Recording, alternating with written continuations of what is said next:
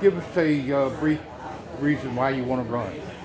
Great. I'm going to do my introduction. My name is Cathy R. Weaver, and I decided to run as a write-in candidate because I am committed to keeping the students in MCPS safe, engaged, and on the road to success. When I taught at Madison County High School, I never once said to a student, before I answer your question, what political party do you identify with? When you write in Cathy R. Weaver for school board, you are getting firsthand experience upholding policies, advocating for policy changes on your behalf in the proper method, and 23 years of public school experience. I am married to Madison native Dennis Weaver, who in addition to having proudly served his country as a Marine, is a former educator and current local farmer. I stopped teaching band and choir at MCHS to homeschool our youngest child. The day will come when our child will want to return to his classmates. I want to be a part of supporting the schools as they continue working on behalf of every single student. Making decisions for children is so important. My older children used to always want ice cream late at night and I would say no, so they would run ask dad. He said, yes, great, until the stomach aches came. Mom and dad got together and said no more late night ice cream. They knew we had their best interest at heart because we didn't want them to have stomach aches. We weren't against ice cream. We didn't stage a protest. We didn't go on Facebook and rant and rave about ice cream. We just advocated for the judicious use of ice cream. The same united front should be happening with all the adults concerned about education. I didn't always agree with every rule in my children's classrooms, so I would go to the teacher and calmly talk to them. We didn't argue, but rather we pulled together for the success of the child. I promised to put care and energy into my position as a Madison County School Board member, and that's why I'm asking that you write in Cathy R. Weaver for school board. Thank you. Okay, Cathy, schools make up the majority of the county's budget.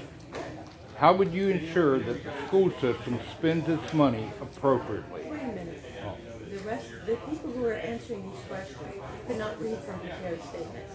They had to answer off the cuff because they didn't have them pre-screened. So I'm afraid you're going to put your notebook away and be subject to the timing that they put into it. Yes, ma'am.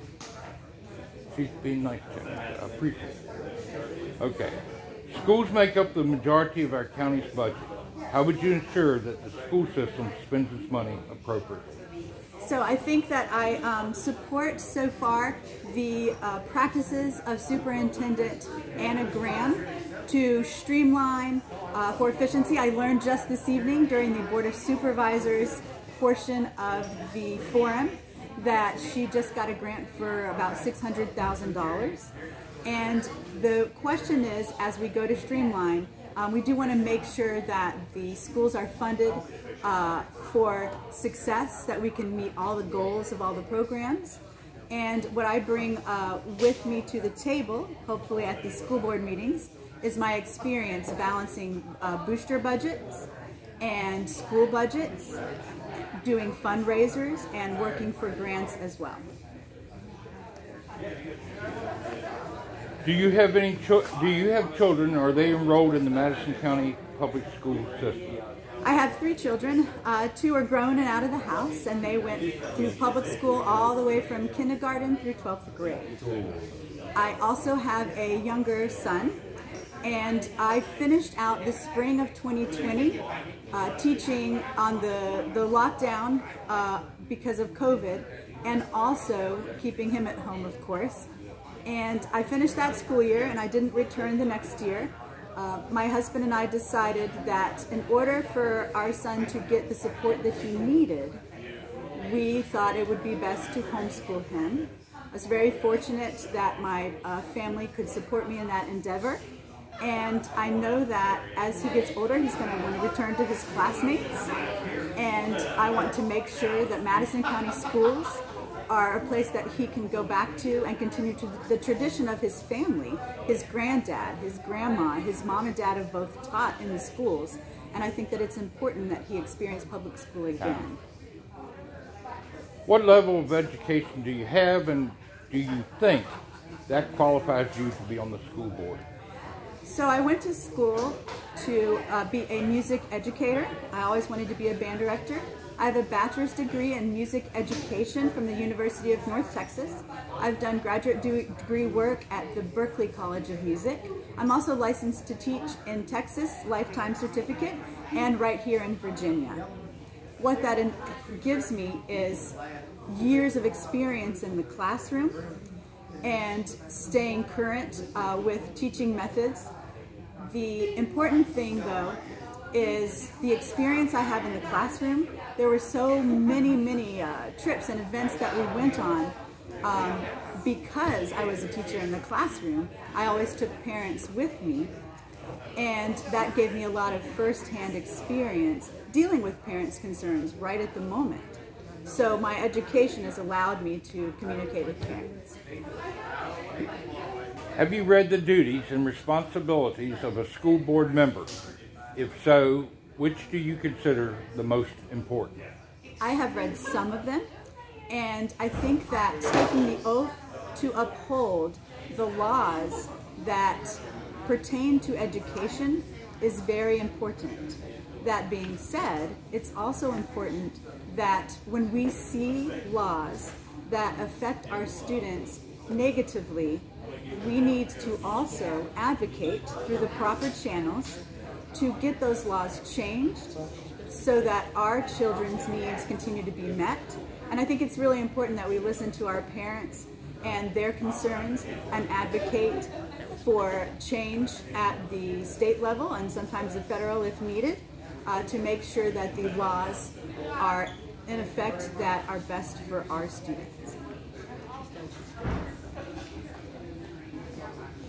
We want our children to be safe and feel safe at school. How do you propose the school board can help ensure safety in the schools? So it is important and students, the Virginia Commonwealth, uh, the Department of Education, has said that the students all have equal access to a free and safe public education. As a school board member, it is important to understand that the teachers that are in the classrooms every day um, must provide a fair and equitable education to everyone that comes through the door. Students feel safe when they are engaged and learning and have the structure and support needed to complete whether, whether it's just one day's assignment or a long-term assignment. They feel safe and happy when they're accomplishing things in the classroom. And I believe that supporting teachers in all their endeavors is the right path for them to be safe and successful. As a school board member, are you prepared to support all students regardless of race, gender, sexuality, disability, or English as a second language learner, or gender identity? Yes, having been in the classroom for 23 years, I have come across students of all different beliefs, of all different sexual orientations, of different learning styles, and my goal was always to unite the students for their common goal of a performance or passing off a scale. We were there for knowledge, and my job as a teacher was to impart knowledge so that as they grew up, they could be successful. My eyes were always on success, and I believe all teachers, whoever, whatever students are in front of them, they are there to teach, they are there to educate, they are to, there to make sure everybody's safe and is treated fairly so that we can learn and they can be successful. What is your stance on culturally responsive teaching? So culturally responsive teaching is not the same as critical race theory. Critical race theory is taught at the, the college level. Madison County schools do not teach critical race theory. I will say I'm studying history uh, Virginia Studies right along with my son this year. And the perspectives have changed quite a bit from way back when, uh, when I took seventh grade Texas history. So it has been really enjoyable for me to learn these updated perspectives. Um, even more important, it, uh, whenever we can learn different perspectives, we grow and we have empathy for different people's points of views. And that is very important. And that is one of the things that can make young adults really feel safe and connected to the people around them. And it's one of the things that makes America great that we can have all these different perspectives and still get along.